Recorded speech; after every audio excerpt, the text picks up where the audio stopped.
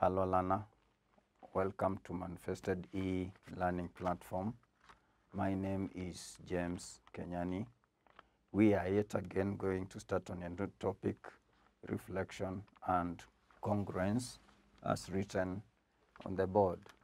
And as usual, as we start a new topic, eh, it's good to know some of the objectives and why we are learning the topic. So this topic enables the learner to discover properties of reflection and congruence. So by the end of the topic, the learner should be able to state properties of reflection as a transformation, use the properties of reflection in construction, and identify images and objects. Thirdly, make geometrical deductions using reflection, apply reflection in the Cartesian plane, and five, distinguish between direct and opposite congruence and identify congruent triangles. So in our lesson today,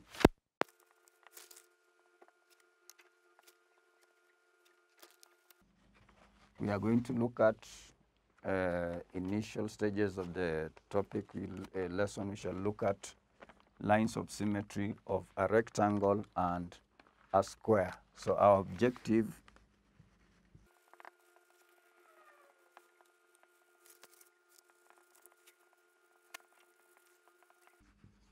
So at the end of this lesson, you should know what symmetry is and be able to identify the lines of symmetry a square and a rectangle.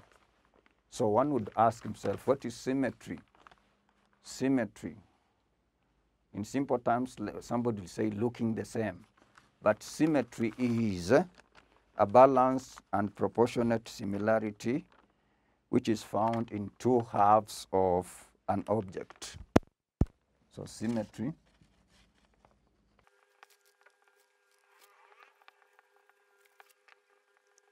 it is a balance and proportionate similarity found in two halves of an object.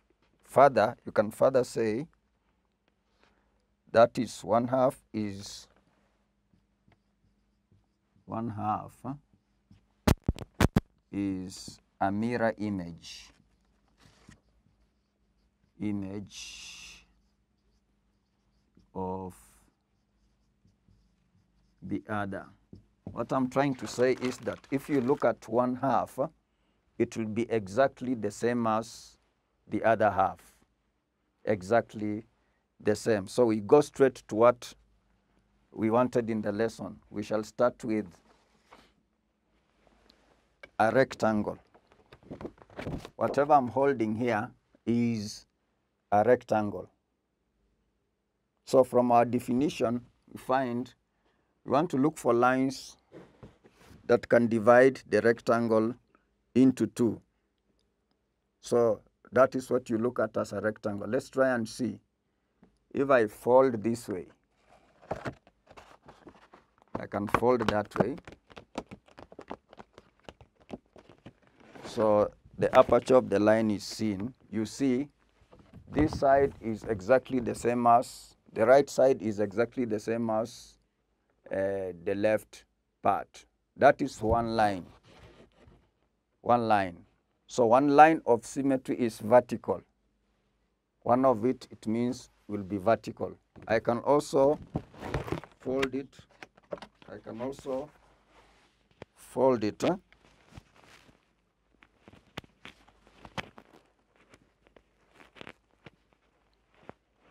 I can also fold it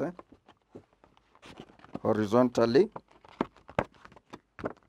I'll also get a line of symmetry. So you find I've got two. I can try to fold it eh, along the diagonals.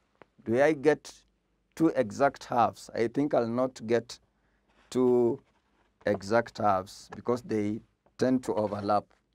They don't, it doesn't fit exactly on that. So for a rectangle, we see we get two lines of symmetry, one vertical and another one horizontal. So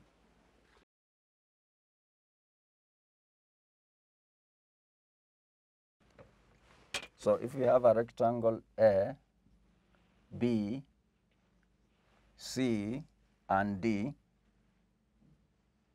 as you've seen from that rectangle, we got two lines of symmetry. But that is we defined using that carton. But how can you get them by construction?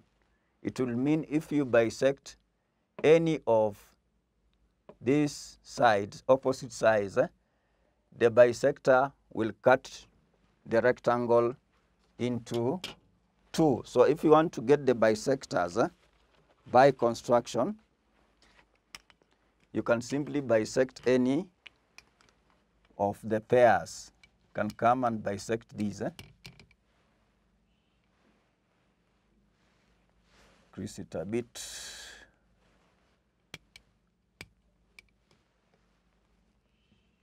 Can come and bisect this.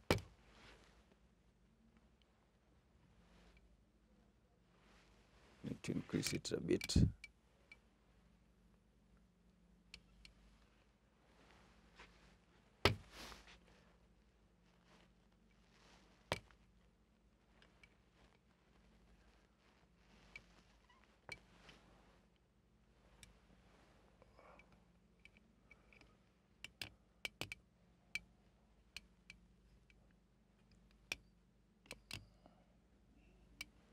So if I prolong the intersection, if I prolong the intersection of that bisection, that will be one of the axes.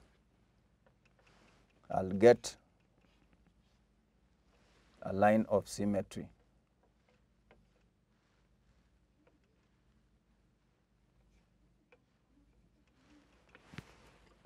That is a line of symmetry. And if I want to get the other line, I'll do the same. I'll bisect, I'll bisect any of the pairs. I'll bisect any of the pairs, either AB or CD. I'll come and bisect. So you should know how to get them by construction. Strike an arc, strike an arc, remove, strike an arc, strike an arc. So I join, I'll come and join the intersection.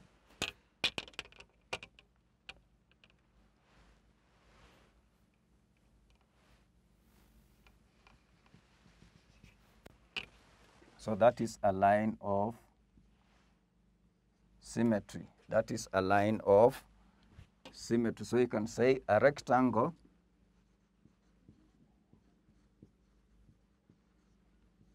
has two lines of symmetry.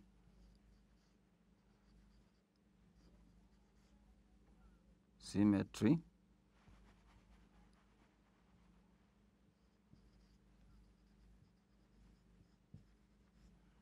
As shown above. So having seen for that, eh, we shall also come and look at, we shall look at a square.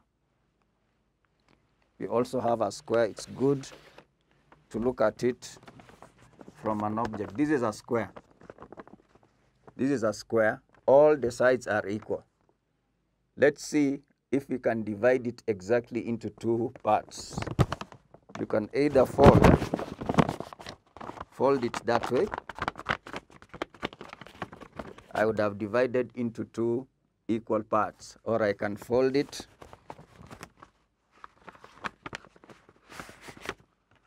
I fold it that way, I'll divide into two equal parts. I can also fold it along the diagonals.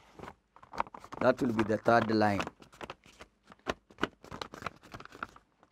I get two equal parts. I can also fold it on the other diagonal and fold it on the other diagonal. I'll also get a line of symmetry. So from my diagram, it seems we have one horizontally, one vertically, one along one diagonal, and one along the other diagonal. So a square will have four lines of symmetry. One vertically, another horizontally, another one on one diagonal, another on the other diagonal. So when you talk of a square,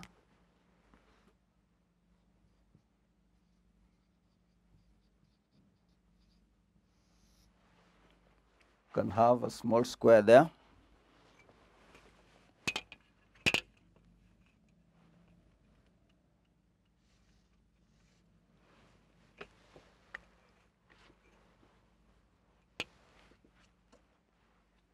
So to demonstrate the difference, you can put this and put that.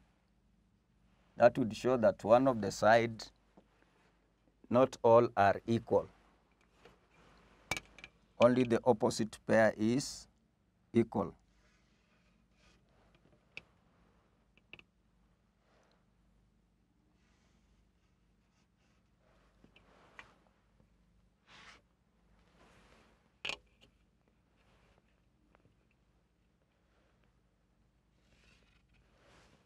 That is a square. I can indicate with that eh, to show that all sides are equal. I can say PQ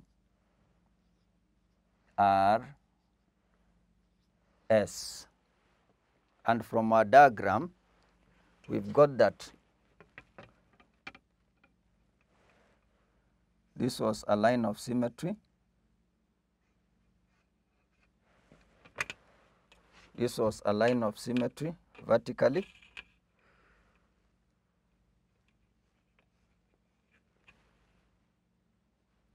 So use arrows. Eh? That was a line of symmetry. This was also a line of symmetry from what I demonstrated practically. That was a line of symmetry and along RQ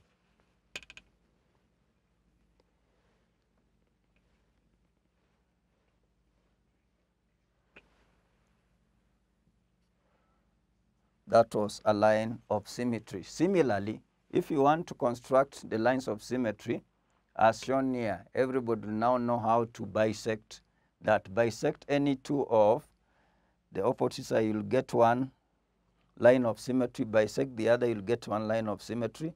Draw a line along one diagonal, you'll get one and get one. So in total, there are how many? One, two, three, and four. So a square has four lines of symmetry. A square has four lines of symmetry. Lines that can divide it into exactly two halves. Lines that can divide it into exactly two halves. Lines that can divide it into exactly two parts. Just for the beginning, in the assignment, eh,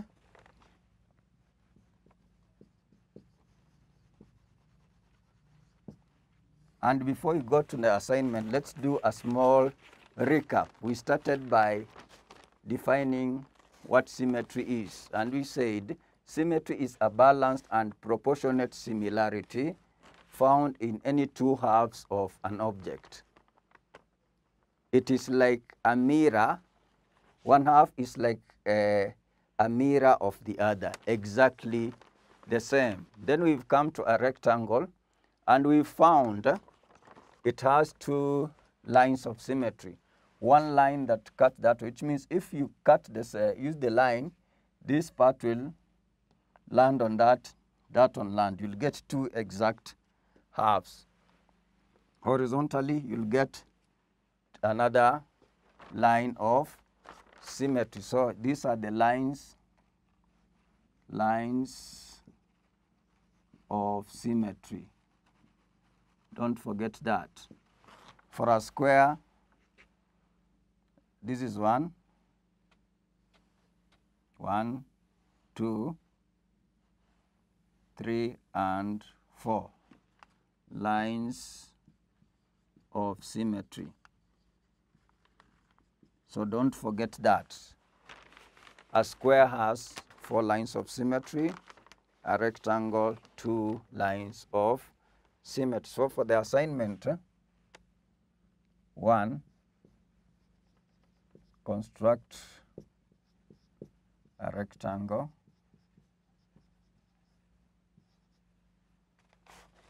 of sides 7 centimeters and 5 centimeters and draw its lines